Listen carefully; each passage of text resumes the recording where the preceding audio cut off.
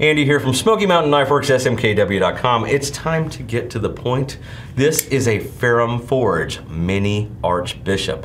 We now have Ferrum Forge knives on the site. Go check them out through the links that I'm gonna leave you. This is a cool little EDC. It is a Mini Archbishop.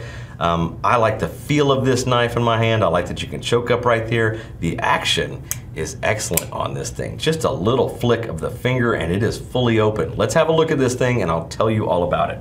This Ferrum Forge Mini Archbishop features a 2.75 inch 9CR18 MOV drop point blade with a stonewash finish. It's 0.16 inches thick, Again, it is a manual flipper or you can open it with the thumb hole. I've done both. I love a flipper, but this thumb hole lets you open this easy one-handed. The handle is OD green G10 on top of steel liners and there's a liner lock right inside of this knife. It does have a removable tip-up pocket clip. It closes down to 3.625 inches. It opens fully to 6.3 inches overall, and it weighs just 2.4 ounces. This is the Mini Archbishop. We have a couple of different versions on the site. I, of course, will leave you a link. It's 72 bucks. 72 bucks at smkw.com.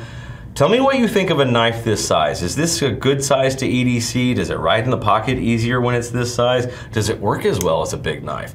Go check out this Ferrum Forge Mini Archbishop. Tell me what you think about this one in a comment on the video. Like, share, and subscribe. Make sure you're ringing that bell so you get notified of these videos every single day. Oh, oh, oh, oh, I cannot do it.